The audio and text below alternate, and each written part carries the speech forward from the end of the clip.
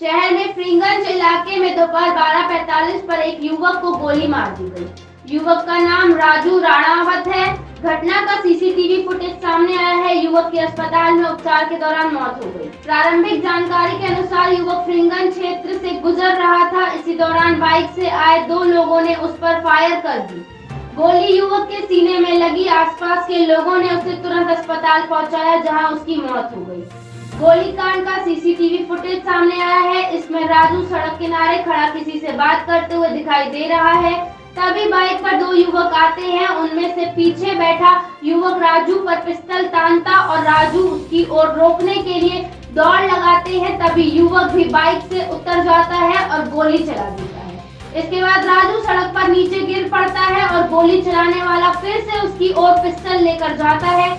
इस पूरी घटना के दौरान आसपास के लोग दूर भाग जाते हैं। घटना के बाद राजू के साथ वाला व्यक्ति किसी को फ़ोन लगाते हुए दिखाई दे रहा है। साथ ही आसपास लोगों की भीड़ भी जमा हो जाती है। फिर तुरंत उसे अस्पताल पहुँचाया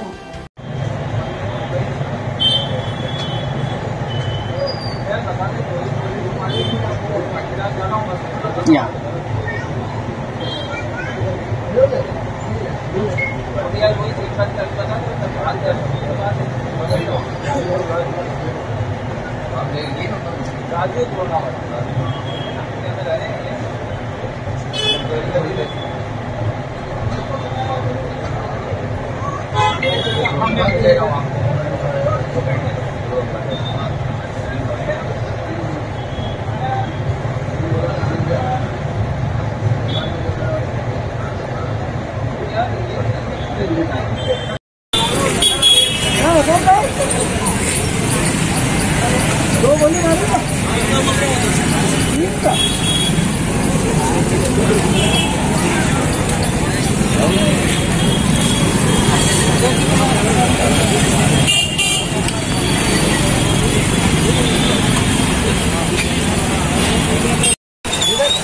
ऑटो में बिठा देते नहीं यार फुर्ती से। भैया वो ही नहीं उठा